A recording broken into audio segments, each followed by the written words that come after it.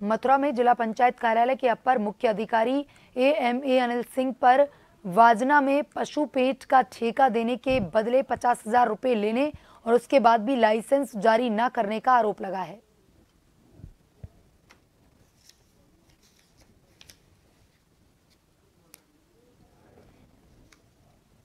जिला पंचायत का एक मामला हमारे तरफ़ आया है और जिलाधिकारी महोदय में जाँच अधिकारी नामित किया गया मामले में, मामला एक पशु पैंट से संबंधित है, जिसमें बाजना के पास किसी भूमि पर पशु पैंट की परमिशन शिकायतकर्ता द्वारा मांगी गई थी, एक आवेदन करता है अभी क्योंकि हम लोग जाँच पूरी नहीं करे, बट मोटा मोटा वो परमिशन के लिए जो मानक अनुसार एनओसी चाहिए थी, वह एनओसी शायद उस पत्रावली पे उपलब्ध नहीं है, जिससे कि वो डिनाई करा गया, वहाँ पे पशु पैट की परमिशन अभी जाँच जारी है, जब जाँच पूरी होगी तो जिसके, जिसका भी दोष होगा, उसके विरुद्ध नियमानुसार कार्रवाई